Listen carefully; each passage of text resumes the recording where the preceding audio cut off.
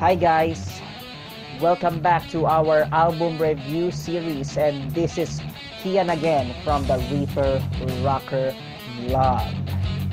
So this time, uh, we will feature Pinoy Indie Band and it's none other than Mad Hatter Day on their EP Alice in Distress. Before we start the album review, don't forget to hit the subscribe and hit the notification bell as always. In order to receive more album reviews and more updates in my vlog. And also don't forget to follow my social media links. So let's start. But before we start the review, let's know first who is Bad Hatter Day. So sit back and relax for this short presentation. Mad Hatter Day was formed in February 2011. This five-piece rock band is comprised of individuals from De La Salle College of St. Benilde School of Design and Arts. The band composed of Mewa Kawad on vocals, Paco Santos on bass, Andrew Son on guitar, Pat Pablador on guitar, and Cash Fuerte on drums. They released their first EP, Alice in Distress, last October 2012. The band is mainly influenced different bands such as A Day to Remember, Versa Emerge, and Shaoxing. The band played in Bazooka Rocks 2 in 2013 with Amberlin, All Time Low, The Red Jumpsuit Apparatus, We Came As Romance, Tonight Alive, Radio Drive-By, Uchi Sentai Noise, A Rocket to the Moon, and many others. Lately, on their Facebook post, they're making new material with their new vocalist.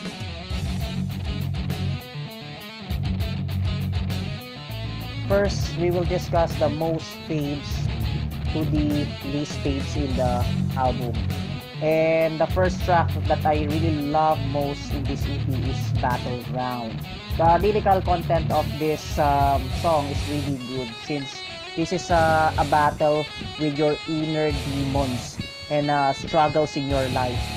Then, yung konsepto kasi niya, yung kailangan mong labanan lahat ng ano mo, yung mga weakness mo sa buhay, struggles mo, hanggang sa ma-achieve mo yung pinaka gusto mo. It's like a soldier wherein you will be uh, facing your own uh, demons. Yung nagustuhan ko dun sa lyrical content ng Battleground.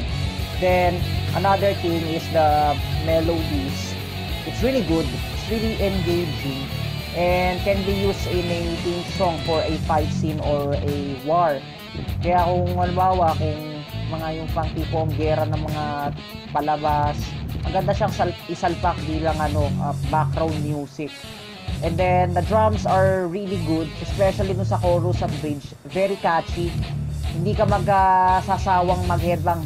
In fact, of all among of these uh, tracks in the song, this is the most headbanging song sa sa EP na to. Finding Atlantis, uh, the intro of the song is very uh, catchy. In fact, yung gusto ko yung facing niya eh. Yung first part, yung ano niya, yung guitar solo, tapos biglang papasok yung drums, hanggang sa mapapa, unti-unti mapapa-headbang ka, hanggang sa mapefell in trance ka na lang na, in love ka na dun sa music. That's what I really uh, love in this. And I can really hesitate to headbang on that part.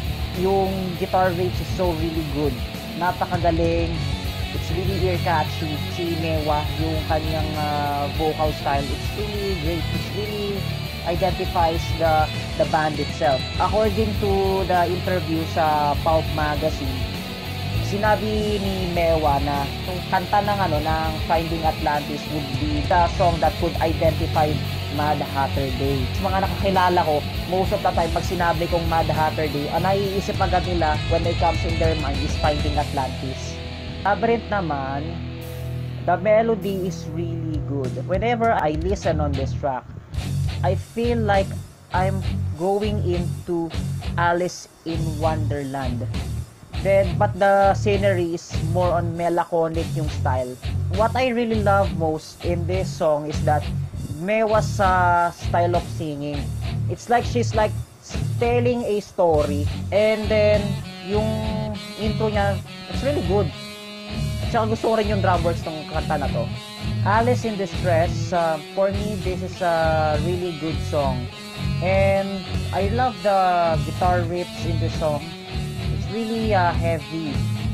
The thing here is that why I choose this song as the bottom line in this EP since for me the sounding of this song is kind of more generic. It's like a typical uh, rock song.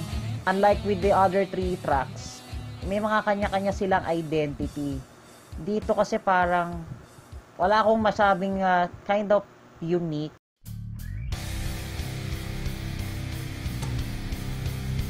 Now let's rate the EP. What could I say uh, for Alice in Distress EP by Mad Hatter Day? I could rate this um, album as 4 out of 5. All in all, the songs are really good. Pinaka gusto ko dito sa album na to, yung drum work ni Cash. He's really uh, great. Hindi ako makapag-hesitate na makapag-headbang pag siya yung tumutugtog eh. Ang sarap nung ano yun, mga palo ng drums niya.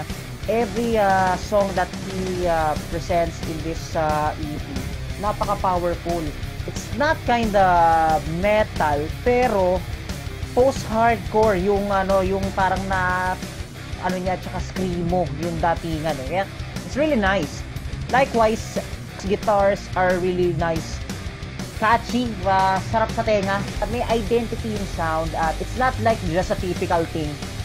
That's what I really love most dito sa guitar style. Then, uh, si Mewa, ang galing ng vocals niya. Her vocals is really nice. And at the same time, there is an angas factor eh. Meron siyang sariling ano, style, really relaxing. Nakaka-relax siya, tapos at the same time na may angas. Yun yung best description ko para sa pagkanta niya. The EP, it kind of reminds me of the uh, Sausin sa um, songs. But the thing here is that it is a female vox. What I uh, love to listen this uh, track, especially when I'm reading and uh, doing my uh, school works, as like a background music. Ang sarap siya pag background music kasi pag yung kahit busy ka, medyo may ano eh, mapapahedbang na pa rin ng konti. Kaya I really love to do that. And I used to listen this mostly on my idle time. It's really addicting, sa totoo lang.